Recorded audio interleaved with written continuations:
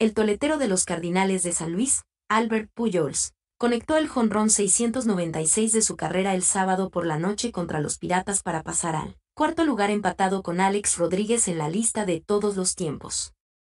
Ahora, solo Barry Bonds, 762, Hank Aaron, 755, y Babe Ruth, 714. Tienen más jonrones que Pujols en el transcurso de su brillante carrera de 22 años en la MLB.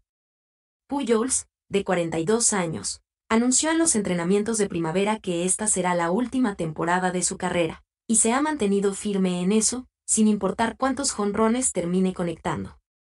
Pujols, quien tiene 17 jonrones esta temporada para los Cardenales, también amplió su récord de la MLB al batear un jonrón ante 452 lanzadores diferentes.